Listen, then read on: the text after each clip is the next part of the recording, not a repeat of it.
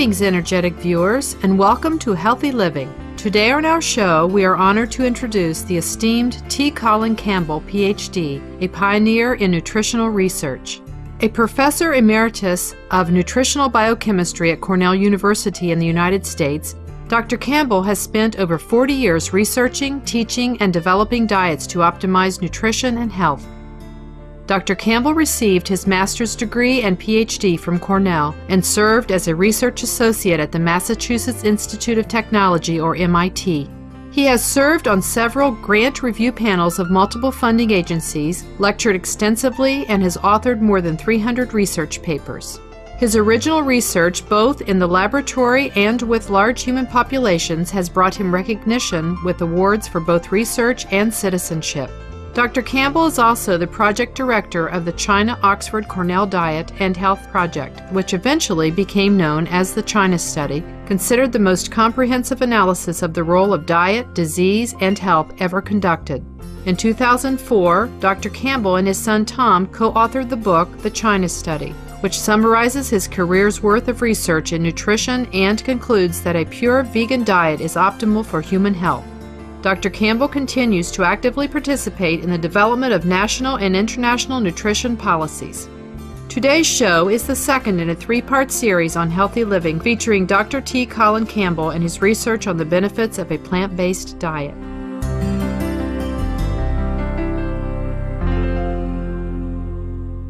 Do we really need a lot of protein in our diet? And does a vegetarian diet provide all the vital nutrients that our bodies require? What we're now seeing at least what my research is showing, is that excessive amounts of protein, if we start consuming protein in excess of what we need, cholesterol levels in our blood starts to rise. Atherogenic uh, lesions that lead to heart disease starts to increase. We get an acidity that then pulls calcium from the bones. We, we, get, we start growing cancers. And so the question is, we can't consume excess protein. The question then becomes, what's excess? Well, the amount of protein we need is about 8 to 10% of total calories.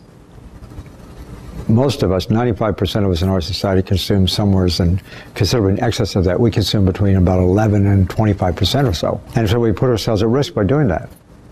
And uh, plant-based foods, a good plant-based diet, vegetables, fruits, grains, has just about 8 to 10% protein. It's, it's, I mean, nature almost made it so that it was ideal.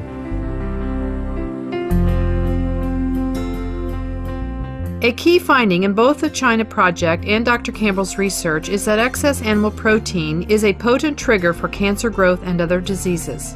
In addition, in the case of breast cancer, he recognizes the role of excess estrogen, which also arises from animal proteins and milk in particular. Well, what are the factors that lead to breast cancer, and how can a plant based diet reduce those risks?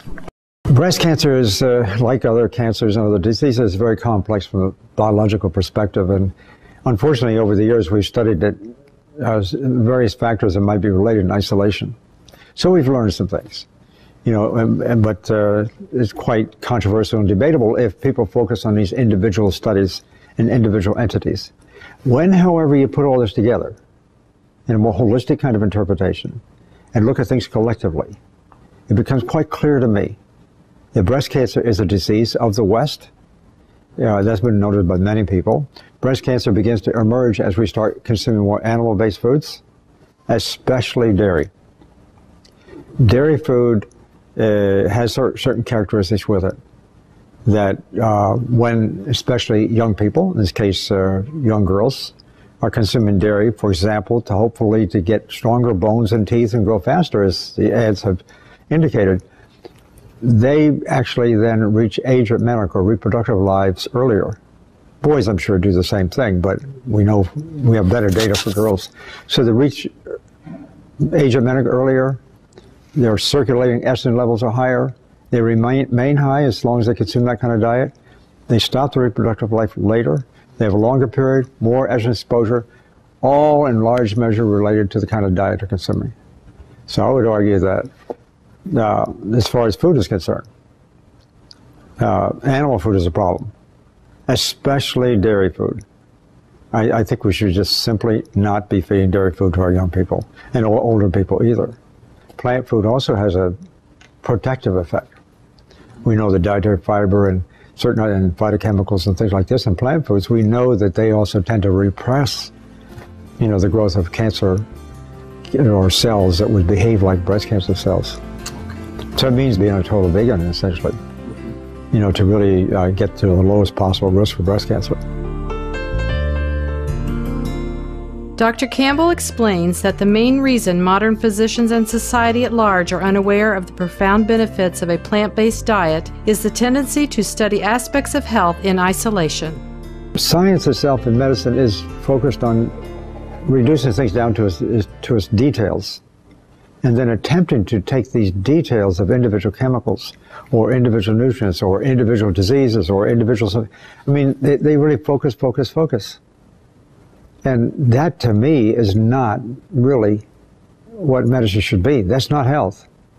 Health, and particularly nutrition, is um, a condition that is very holistic, comprehensive effects. I, am a biochemist by training. And if you could sort of crawl inside the cell, which I feel like I, I can do from time to time, you start looking at all these reactions. And it's like a symphony. It's like a beautiful symphony. You know, countless things are coming together to actually create a kind of dynamic, a highly integrated dynamic that leads to health if we give it the right resources. If we give the wrong resources, we don't we don't get that. It's it's uh, it's really quite a beautiful story. When Healthy Living returns, we will learn about how, when the body is given good plant based nutrition, it not only begins to recover, but good nutrition can prevent our genes from expressing negative genetic tendencies such as disease. Be sure to stay tuned to Supreme Master Television.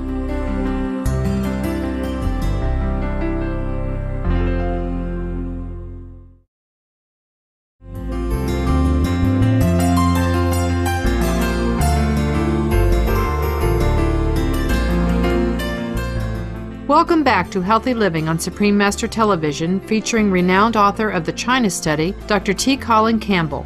Through extensive research, he has found that when the body is given the proper nutrients from a plant based diet, it begins to naturally heal itself.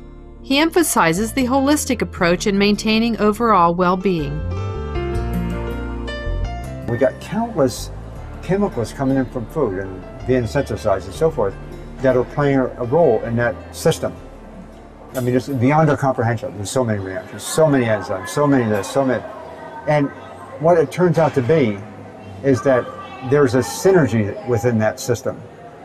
The body is able to control mm-hmm. that massively complex system. Mm-hmm. The body, in its infinite wisdom, can control that system if we give it the right resources. Right. And so that's almost the antithesis of science as we practice. It's the antithesis of medicine. Right. Because they're always talking about, you know, one drug, one, one, so forth and so on. Uh-huh. But it's the symphony, it's the harmony that exists in the cells that really started to impress me. And when you think of that way, okay, then you go outside of the cell. You know, you look at the whole organ, for example, or you look at a whole group of organs, you look at the whole body. And what you find is that with our hormonal system, especially what sends messages around, and the neural system, which sends messages around, what you find is that the whole body is marvelously uh, symphonic. It's harmony. And that's really what it's all about. And, and our body can actually manage health and create health and even restore health in people who, who have disease. It can do this. All we need to do is, I think, stop focusing so much on the details, think about the whole, mm-hmm. and then make sure that we consume the right kind of food.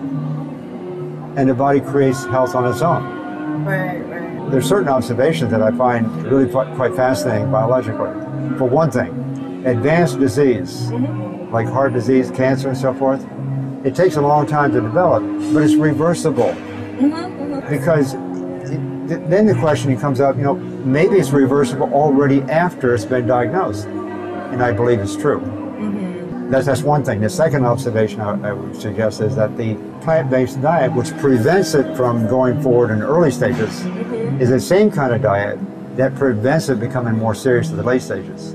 So all of a sudden, this plant-based diet idea has more has more to do than just trying to prevent cancer or prevent heart disease. Now we know it can be used to restore health. It can be used to treat treat people with disease. Right. That's very exciting. So it's a very different view than what we now have in medicine. Right, right. You know, so uh, you know that's one thing. Another conclusion Dr. Campbell has reached is that by eating a healthy, nutrient dense plant based diet, we can actually overcome or avoid our genetic tendencies. This concept is supported by the joint work of medical clinician Dean Ornish, MD, and visionary scientist and genome expert J. Craig Venter, PhD, who found that gene expression can be altered through lifestyle changes, including a diet very high in plant based foods. Another observation that we worked on for a long time was that disease does not occur uh, just because of the genes we have. Right, you know, that's, that's the reaction that I usually get from people. Like, oh, you know, my mom has breast cancer, I'm probably going to get it. Or... That's not, uh, I mean, genes do play some role. It, it, here's the way it is all these biological reactions, whether they're normal physiological or whether they're pathological, all these reactions begin, biochemically speaking, they begin with genes. Mm-hmm. Right. But and we have, you know, about 25,000 genes in all kinds of combinations. It's an enormously complex system. Right, right. And, and, they, and these genes all work together. So everything starts with genes. And in a biochemical sense, these genes, DNA in this case, uh, if you will, they produce uh, what we call RNA. The RNA then produces protein, mm-hmm. and the protein becomes the enzymes. Right. So, and then the enzymes is what's creating and controlling you know, the events that subsequently turn into either health or disease. Mm-hmm. So we start with genes. Everything starts with genes. And, uh, but, and also we have some genes, all of us have some genes that aren't so good. Right. And it'll take we us down the wrong path. So. The, the question is, do, does our disease occur because of the genetic background? Mm. Very little or none. Because even if we have some troublesome genes, either from our background or from genes that have been corrupted during our lifetimes. If we have these kind of genes that can give rise to some disease, we can control the expression of these genes. That means we can control whether or not they do produce RNA, whether they do produce protein, or whether they do produce uh, enzymes. Well, of course. So even though everything starts with genes, and that's a popular understanding, that's not what determines disease. What determines disease is the control of that genetic expression to give mm-hmm. you know health or disease at the other end. Right. That's a very exciting concept because that what that means is instead of I mean if we rely on the idea that genetics causes disease, that's a very fatalistic idea. Mm-hmm. Mm-hmm. If we rely in, instead on the idea that we control the expression of these diseases through nutrition, mm-hmm. and through nutrition comes into play. Mm-hmm. If we can do it through nutrition, that's a very hopeful sign. Right, right. We can do it for ourselves, and now we know what kind of nutrition it is. Right. So uh, I, I've gotten very excited about, you know, a very different worldview.